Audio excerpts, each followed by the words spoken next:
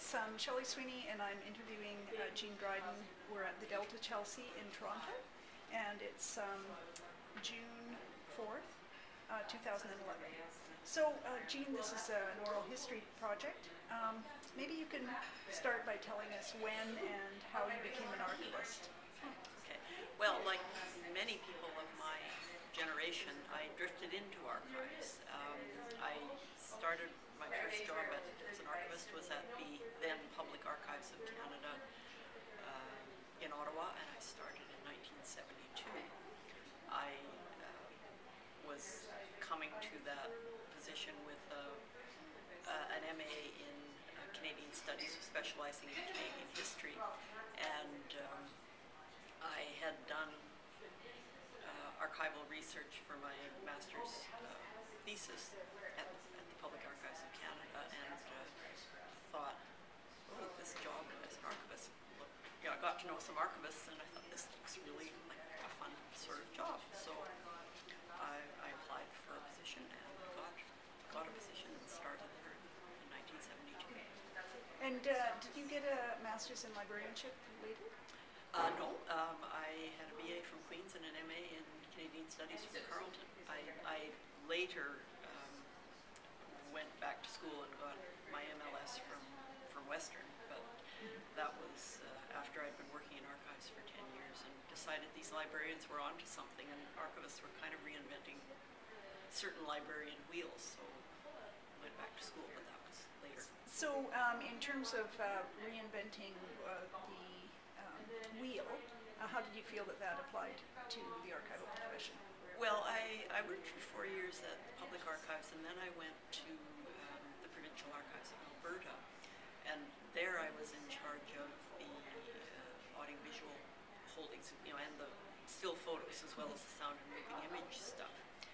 And uh, I was very interested in archival description and, subject indexing in particular, and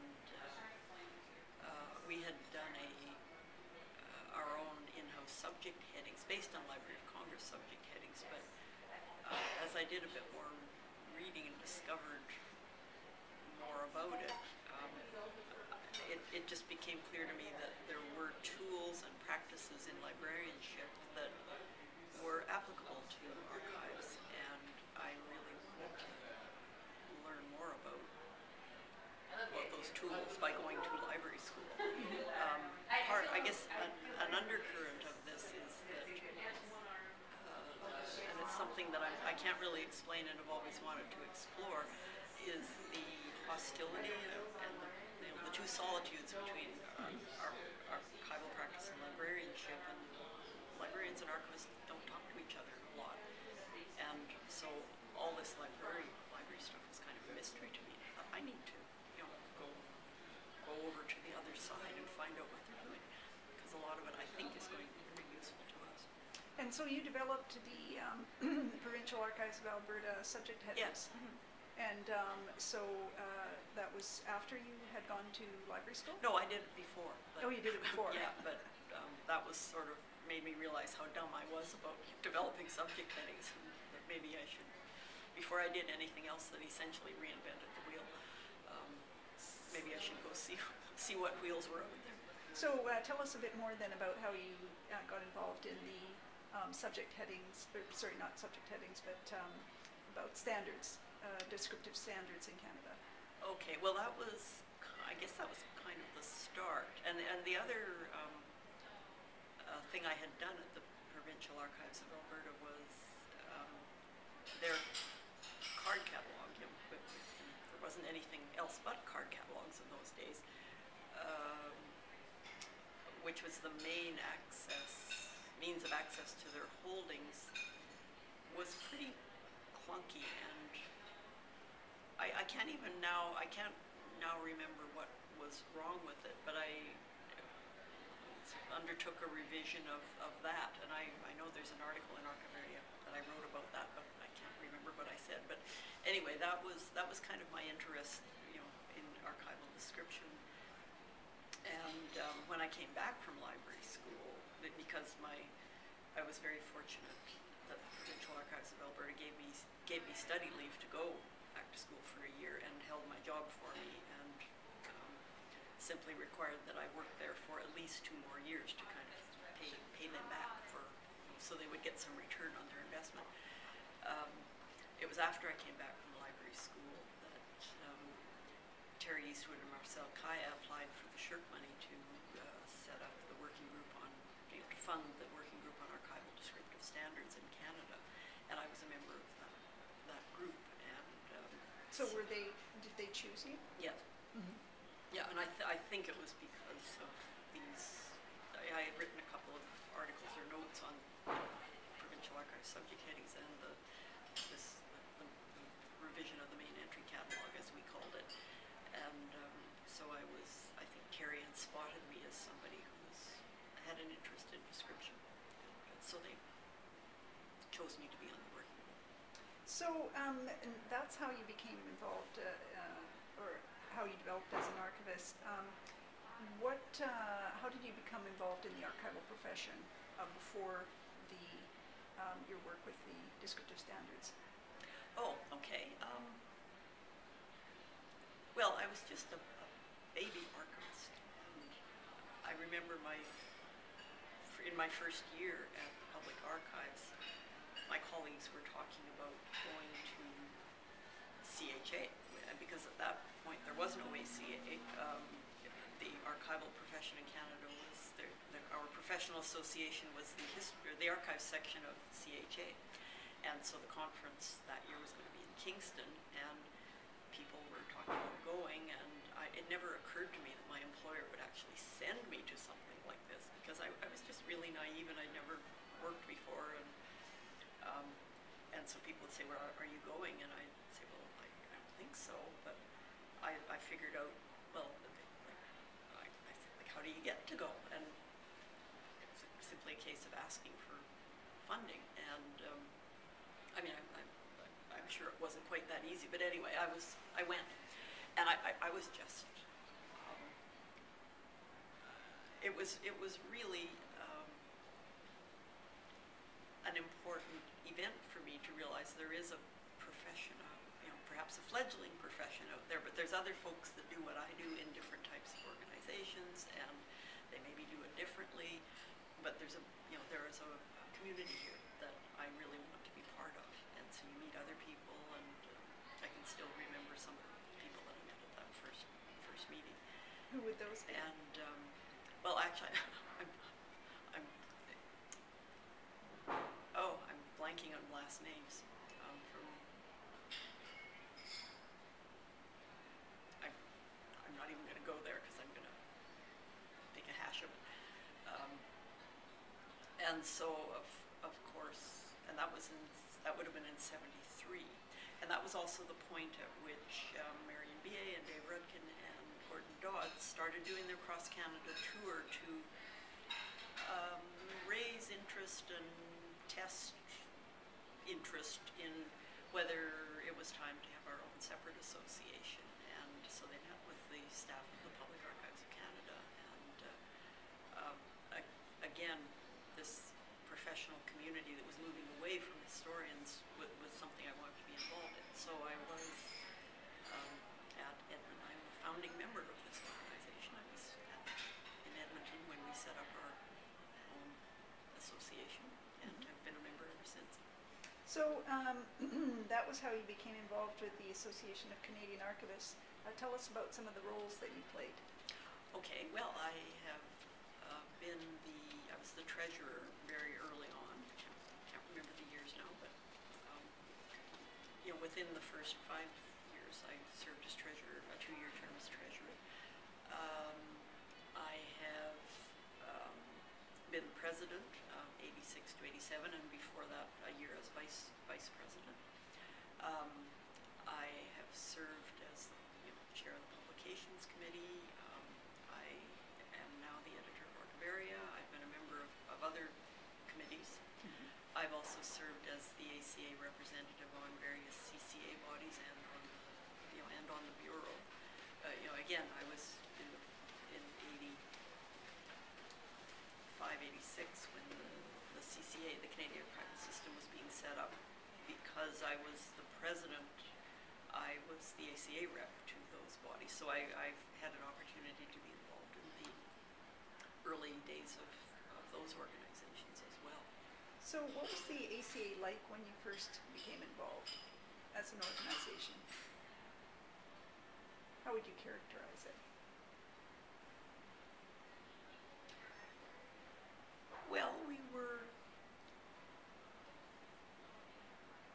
setting things up from scratch, know, getting a constitution, trying to establish, still maintain that connection with historians, but yet um, emphasize our differences. And um, we, the other struggle, I guess, in terms of identifying ourselves was what was our relationship with the AAQ, which was a much old, you know, not much older, but had already been established. And if we're the national organization, we have to be bilingual, and but we're not really. And and so, in fact, the bureau was kind of the mechanism that was established to uh, address that that very important issue. So we were struggling a bit with the nuts and bolts of things like getting a newsletter. You know, should we have a newsletter and uh, setting up a journal and getting the Constitution? Should we incorporate all those kind of technical things, getting them up and running? But also there were broader issues of identity um, because a lot of our a lot of our archivists, particularly at the National at the Public Archives, um, because there was no archival qualification, like such as a Master of Archival Studies, and because there wasn't even particular training for archivists within library schools, people came in with degrees in history. And so there was a lot of folks who were saying, but, but, but we are historians, that is what archivists should be. And so this breach with the CHA was uh, very, it, wa- it wasn't a problem for me. I don't, I don't recall, but the folks, particularly with the, with PhDs in history, um, were really troubled. So, um, were there any people that you can think of that uh, influenced you in those early years?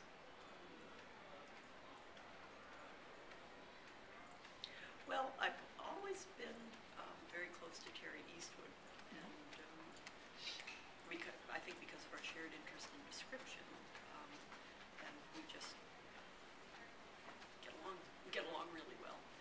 Um, I I do um, recall Gordon Dodds as our first president was a very eloquent and um, thoughtful and thought-provoking speaker about the profession and why, why we were what we did was different from what historians did. And uh, so I, even though I, um, Gordon and I never never worked together in the same institution. Well, for that matter, Ter- neither did Terry and I. But um, I just re- I really think Gordon was a, a good first president of the organization. Um, if you have to identify some key players in uh, the archival field, uh, besides yourself, of course, who would you uh, who would you select? Who would you point out? Well, certainly Marion Beyea Um, right from the, you know, the, the vision of our own association, and she is still, uh, you know, she has been active throughout the, the ACA at national and international level, and uh, uh, would be would be one person. Um, Ian Wilson also, um, whom I um, got to know as a when I moved to Alberta, and, and we there was a group you may the Prairie Archivist group at that at that point, and we the Prairie Archivists used to get together and have annual meetings or semi-annual meetings, and um, so I'd say Ian obviously is very influential in the on the, in the profession. Um, Terry Eastwood. Gosh, you know, I'm I'm probably leaving a whole bunch of people out, but those are So, um, what would you say the differences are between archives when you started and archives today? Oh my gosh. Well, first of all, uh, nobody drifts into archives today. Um, there is, you know, people go to graduate school and they they know they want to be archivists. So there, there is training, uh, professional training, graduate level training, and that to me is simply wonderful. Um, um, I think we are very clearly an information profession, not historians Mulcahy. Um, we have standards and a body of practice and a body of theory. I mean, I think we already always had that practice and theory, but it's um, far more well articulated, and and we've got standards, and, and the practice has evolved to be, you know, up as, as indeed one would hope it would, to be far more sophisticated and uh, than than it, than it was. Um, and just, I mean, a lot of it is due to circumstances like technology. I mean, communication is just so much, so much easier instead of sending things around in the mail um, or typing up finding aids like on a typewriter. And the amazing advance that the IBM Selectric was with the movable ball instead of the, the you know the platen going back and forth. Um, just the technology has made a, an enormous amount of difference because there's so much. You know, there's so much. In, in archives, you, you keep recording the same information and, and sort of dragging it along with you as you process a collection and as you make it available. And uh, under old technology, you retype that all the time. And now you, one hopes, if your systems are sort of integrated, just kind of bring it along with, with you and build on.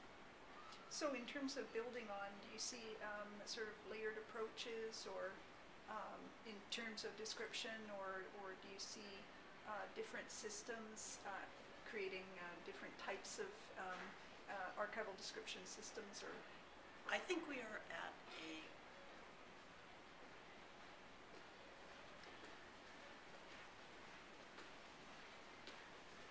a very key. I, I'm, I'm breaking point isn't the right word. We're at a, a very key transition particularly in archival description, because technology.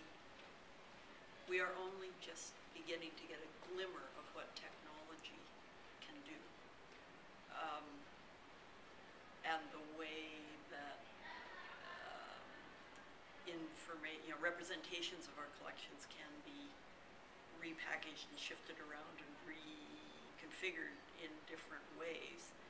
Um, instead of, you know, we're coming from the situation where um, if, you know, the physical piece of paper or whatever it is can only be in one place, and so you're finding a, your, your description reflected that. But now we can manipulate the information in the finding aid and combine it and link it and do all kinds of fabulous things with it in, in ways that um, some, some of the visionaries I think can see more clearly than I, than I. I tend to be an A to B to C to, D person and other people can go from A to F in one bound and see what is possible. But um, I, I think it's really, we're on the brink of a very exciting time, and I'm not, I just know the possibilities are there. I can start to see some of them, and uh, I think they will only grow. But they, in at the same time, that will be very troubling for the folks that like standards and certainty and um, clarity, because there's going to be a lot of things to experiment with, and uh, before we settle down to what best practices are. And I, I really think, I mean, I've been also very involved in the development of descriptive standards, and a lot of our descriptive standards are hopelessly clunky. Like, I think, ugh. Um, I mean, I, I still think we need standards, but they seem pretty limiting at the moment. So I, I see with different possibilities the technology provides us with, I think our standards are going to have to change also, in that people hate changing, having to change their stuff because the standard changed.